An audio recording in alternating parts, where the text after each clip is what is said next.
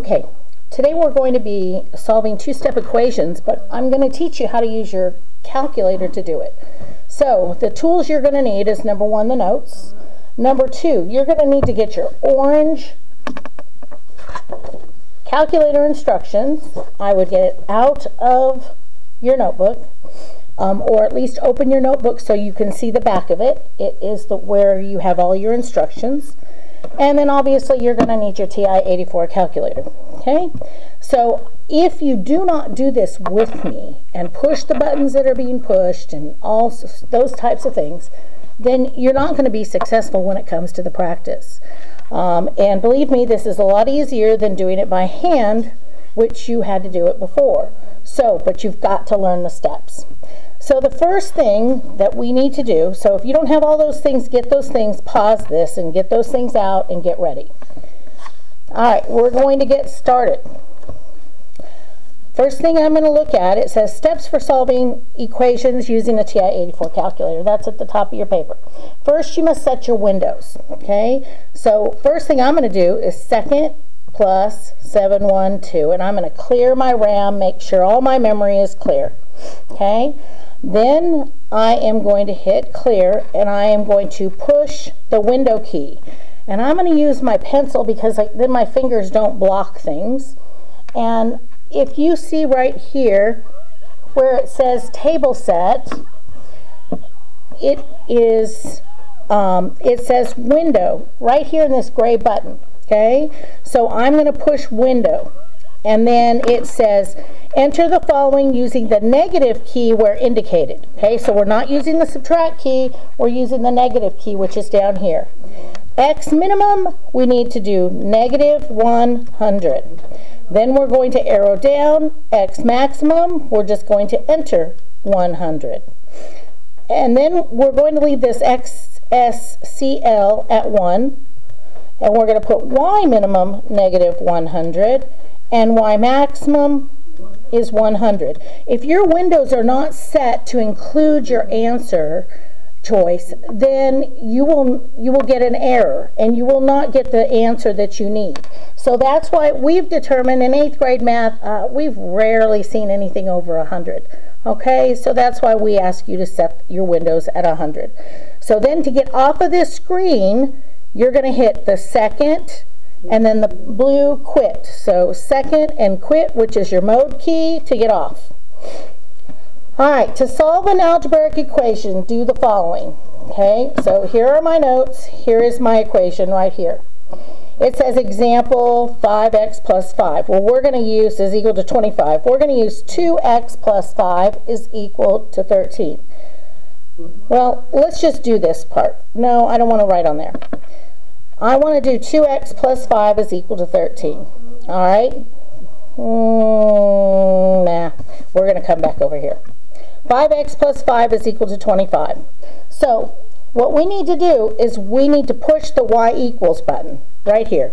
y equals. Okay? And so you end up with, you, you split, and I will do this, and you can do this on yours, I don't care. You split right down the equal sign, and you make this side of your equation y1, this side of your equation y2. So this is your y1, and this is your y2.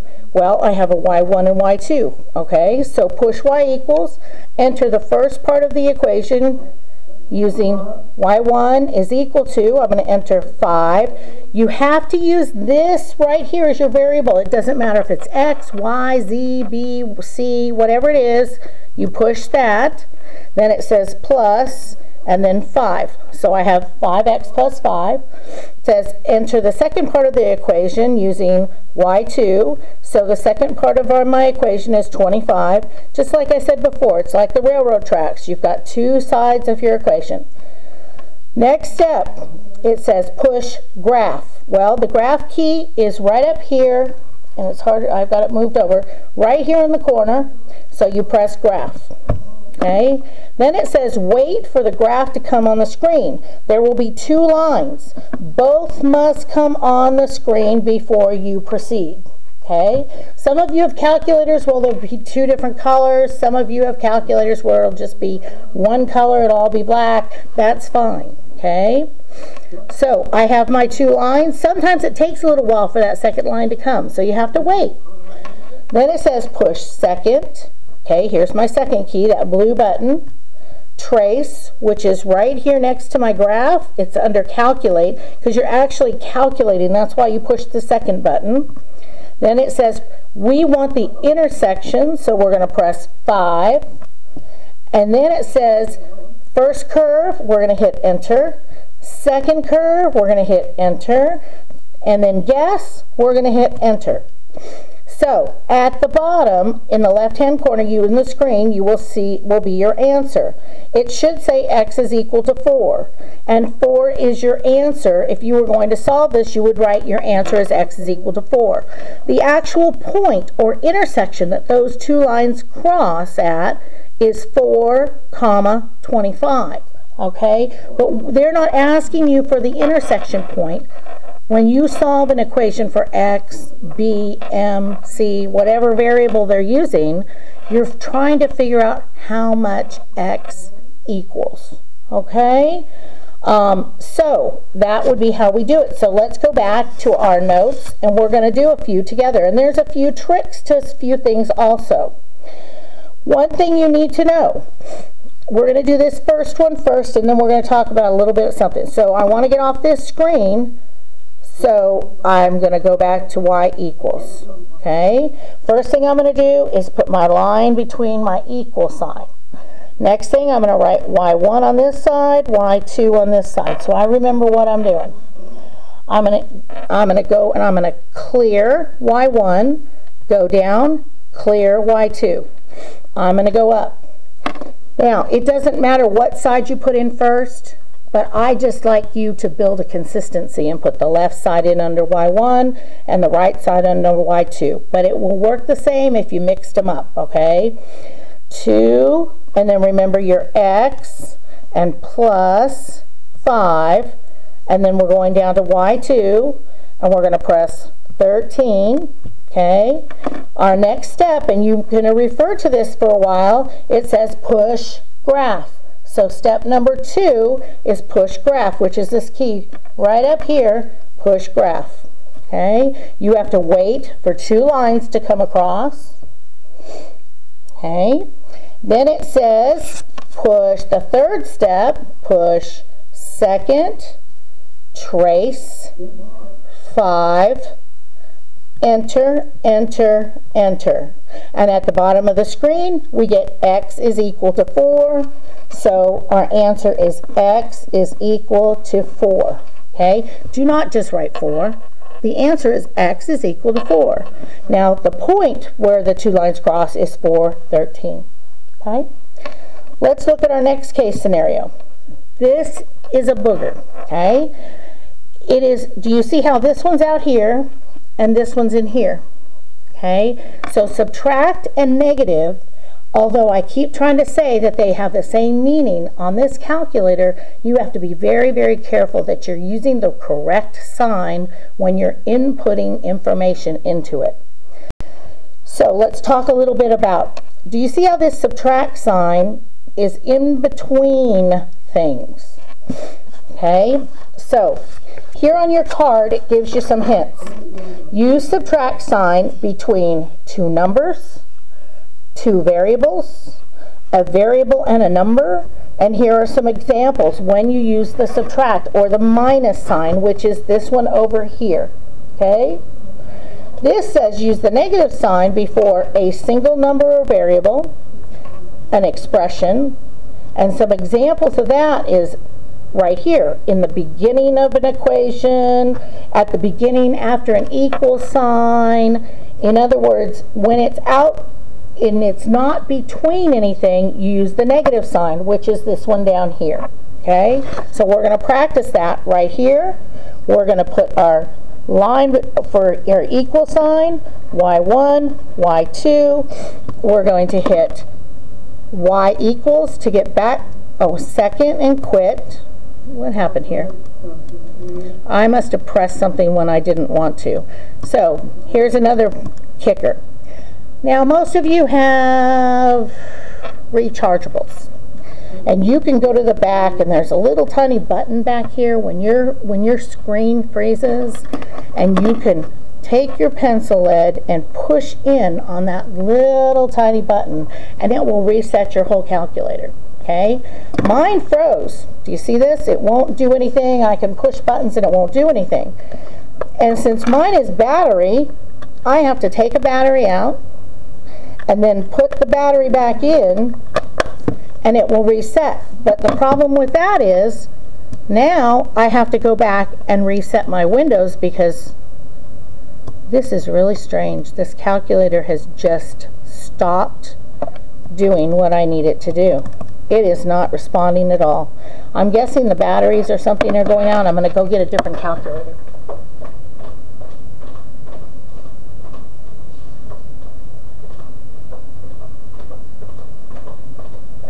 I apologize. So now, I have to go back and set my windows. Negative 100, 100, negative, oh, I'm going to leave that as 1, then I have negative 100 and 100 second quit. All right, let's go to our y equals, and we are going to put in 4, and then the x key, which is right here, subtract 3, come down, arrow down to y2, and I'm going to put in 9, and I'm going to hit second step, press graph, says wait until you get two lines on your screen.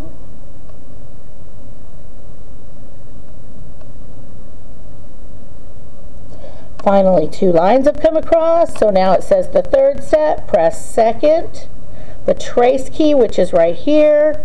I want the intersection, so I'm going to press 5, and then I'm going to press enter, enter, enter, until it says intersection, and it says x is equal to 3 x is equal to 3. All right, next. Says we have a negative x. Now, that is called an invisible 1. The invisible 1. When you don't have a number in front of a variable, it means it's a 1, okay? So we're just going to split our like this, okay? We're going to go back to y equals, and we're going to clear y1, go down, clear Y2, go back up. We're going to put in negative. Now, if you want to put the 1, you can. If you don't put the 1, it'll still work. 1x, and you saw that I used the negative key, okay? That's out front. I have to use the negative key. Plus 5, go down to y2, and I'm going to enter 1. All right, now we're ready to solve. The first thing we press is Hopefully you said graph to yourself and you pressed your graph key. Waiting for the graph. Do you see how a negative line goes down and a positive line goes up? So this is going to have a negative slope. And the other line went across, but you could barely see it. It's right on the um, x-axis almost. So then we're going to press second and trace. And we want the intersection, which is 5 enter, enter, enter, and we have the intersection at 4 and 1. x equals 4. Okay, a couple more problems we're going to do. I know it look, kind of looks like a divide, but it's a plus, okay? We have parentheses, so we are going to use those. Let's first go back to y equals. Let's clear and go down and clear and go up to y1 our parentheses keys are here at 8, right above 8 and 9. We're just going to put in what we see. We're going to let our line. This is y1, y2, and I'm going to put 3 parentheses. Then I'm going to press x plus 2, close your parentheses. Then I'm going to go down to y2, and I'm going to put in 15. Hopefully by now you're saying these steps to yourself. First thing you're going to press is, hope you said graph. You're going to wait for how many lines? Hopefully you told yourself two. Then you're going to press second, trace, five, enter, enter, enter, until you see that word intersection. It says x is equal to 3. Okay? x is equal to 3. All right? Let's go on. Let's go back to where?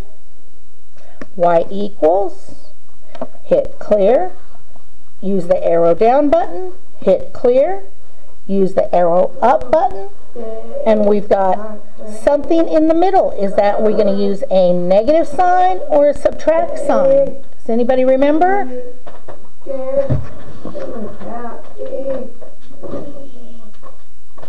Does anybody remember? Yes, it's the subtract key because it's in the middle. So I'm going to do parentheses, I'm sorry, 2, parentheses, 2x, then I'm going to use my subtract key and put 1, put parentheses, go down, put in 10. What are you going to do next? Hopefully you said graph.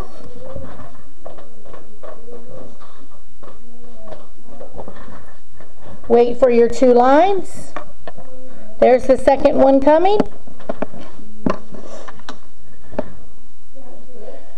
Then we are going to do second, trace, five, enter, enter, enter.